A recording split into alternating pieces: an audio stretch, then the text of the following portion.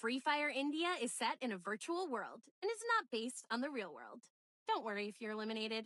Respawn awaits.